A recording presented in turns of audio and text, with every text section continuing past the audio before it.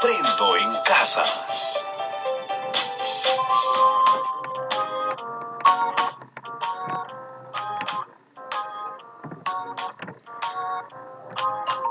Bienvenidos queridos estudiantes del segundo grado. Ya es hora de nuestras clases y hoy 13 de julio vamos a trabajar el área de personal social. Y la actividad del día de hoy tiene por título ¿Por qué celebramos el aniversario patrio?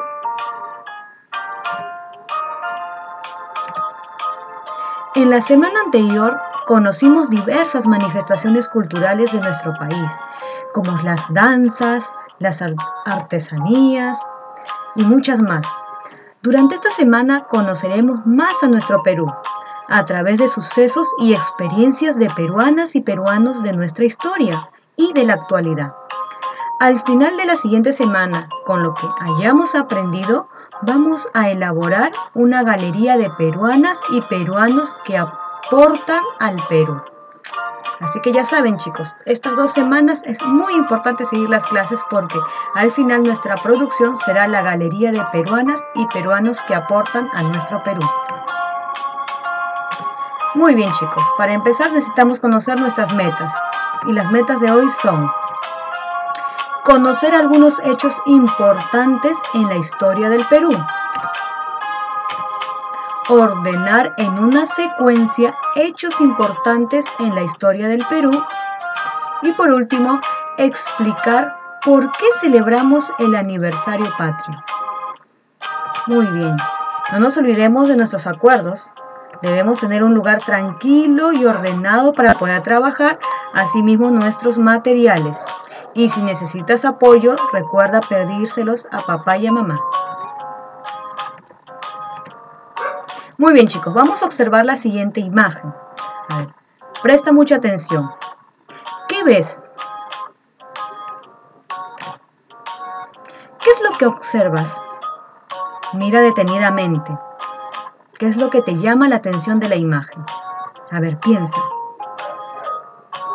Muy bien, Así es, todas las casas que están ahí tienen una bandera del Perú, ¿verdad?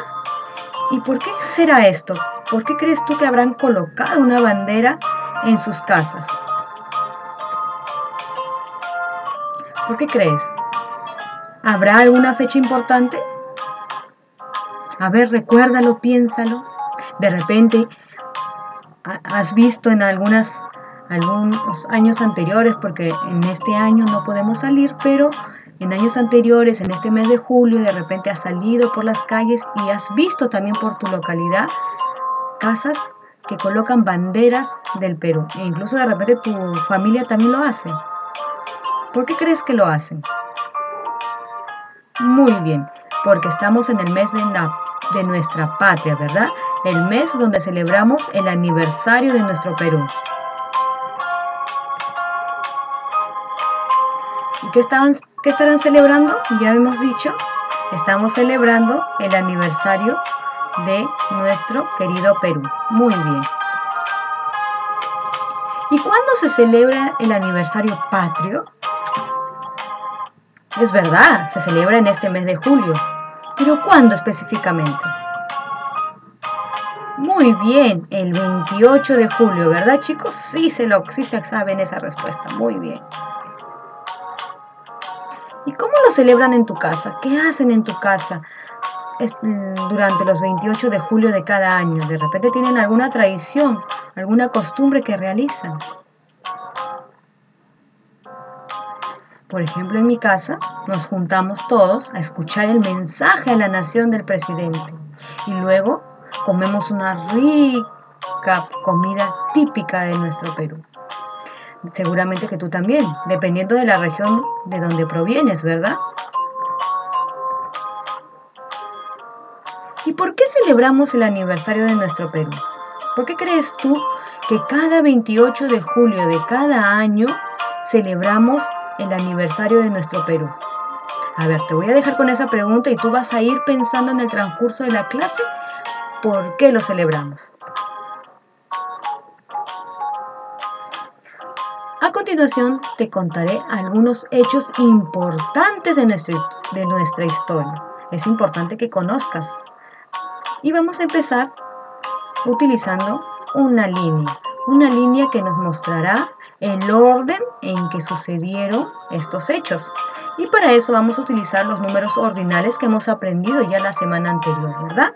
Que nos indican y nos ayudan a poder ordenar cosas, personas y en este caso hechos o sucesos. Y empezaremos por el primero. En el primero vamos a observar esta imagen. ¿Ves esta imagen? Te cuento, esta imagen es de nuestro antiguo Perú. En el Perú antiguo donde vivían los incas. ¿Has escuchado de los incas, verdad?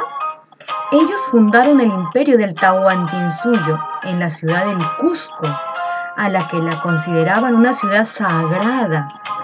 Los incas, como ves en la imagen, ellos vivían de la agricultura, aprovechaban muy bien la tierra y el agua.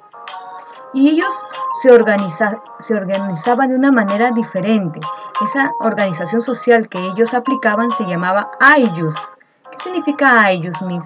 Significa que estaban integradas por grupos de familia, vivían por grupos de familia. A ese grupo de familia se le llamaba Ayus. Segundo, segundo hecho en nuestra historia. Ya conocemos el primero. El primero fue con el origen del Tahuantinsuyo, donde vivían los incas, ¿verdad? Ahora, el segundo hecho que vamos a conocer es este. ¿Te parece conocida esta imagen? ¿Alguna vez la has visto de repente en televisión o en algún libro? Pues te cuento. Estos son los españoles estaban al mando de Francisco Pizarro. Seguro que sí has escuchado de Francisco Pizarro, ¿verdad? Francisco Pizarro junto a un grupo de españoles llegaron al imperio del Tahuantinsuyo. Así es, al imperio del Tahuantinsuyo donde vivían los incas. Ellos vinieron porque escucharon que en nuestro Tahuantinsuyo había muchas riquezas como el oro y la plata. Y entonces decidieron conquistar. ¿Y cómo lo hicieron? Con armas de fuego y animales como el caballo. Los incas nunca habían visto esos animales ni estas armas. A partir de ese momento en que los españoles conquistaron el Tahuantinsuyo, ya no se llamó así, ahora ya no se llamaba Tahuantinsuyo, se llamó Virreinato del Perú, el cual ahora dependía de España y la capital era la ciudad de Lima. Durante esta época, los españoles cometieron muchos abusos e injusticias contra los indígenas. Los obligaban a realizar trabajos excesivos. Bueno, ahora ya conocemos dos, dos hechos importantes de la historia de nuestro Perú. El primero, recordemos, es el origen del Tahuantinsuyo, ¿verdad? Que era en la ciudad del Cusco y que eh, donde vivían ahí los incas y trabajaban de la agricultura. Tenemos el segundo hecho, que es cuando llegan los españoles al mando de Francisco Pizarro y conquistan el Tahuantinsuyo y pasa a ser el virreinato del Perú. Ahora tenemos el tercer hecho. Y te muestro la siguiente imagen, que seguro la conoces muy bien. Así es, es la imagen de la independencia en nuestro Perú. Luego de muchos años de que nuestro querido Perú, nuestro país hermoso, fuese llamado Virreinato del Perú y dominado por los españoles, el pueblo peruano decidió rebelarse y luchar por su independencia debido a los muchos abusos excesivos que cometían los españoles contra los indígenas. Fue así que después de mucho tiempo y muchas luchas, un 28 de julio de 1821, el general don José de San Martín proclamó la independencia del Perú. Y desde ese momento el Perú es un país libre, el país en el cual ahora nosotros vivimos y no estamos siendo gobernados por otros pueblos o por otros gobiernos. No, tenemos nuestro propio gobierno, tenemos nuestra propia independencia a partir del 28 de julio de 1821. Muy bien chicos, entonces ya conocemos tres etapas o sucesos importantes de la historia de nuestro país.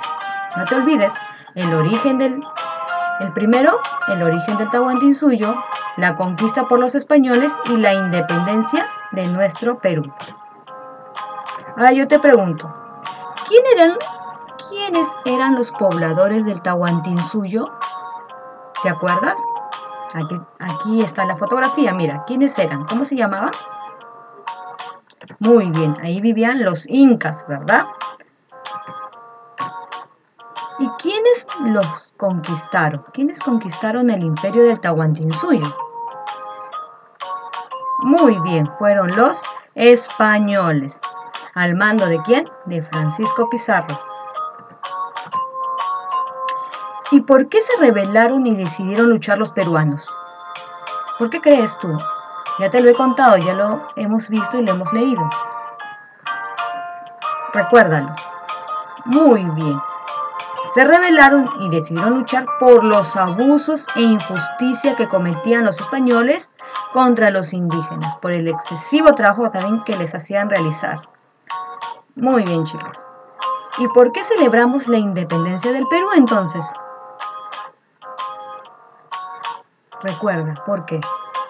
Recuerda que durante muchos años el Perú, los indígenas, los peruanos vivieron por muchos años eh, siendo abusados, siendo explotados por los españoles.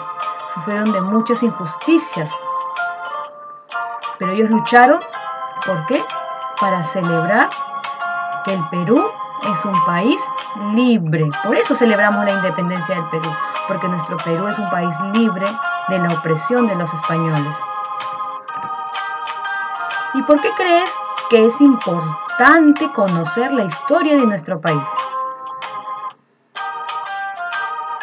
¿Por qué crees tú? ¿Será importante conocer la historia? A ver, piénsalo. Piensa durante el transcurso de la clase y al final responderemos la pregunta. Muy bien chicos, ahora que ya hemos conocido acerca de tres sucesos importantes de nuestra historia, ahora con el apoyo de un familiar y de acuerdo a lo que ya hemos aprendido, vamos a organizar lo siguiente. Estos tres cartelitos eh, son información acerca de lo que hemos aprendido y lo vamos a organizar de una manera secuencial y luego lo vas a pasar a tu cuaderno u hoja de reuso según el orden que lo estableciste. Aquí tenemos cuando los españoles conquistaron el imperio del Tahuantinsuyo, el cual pasó a llamarse Virreinato del Perú.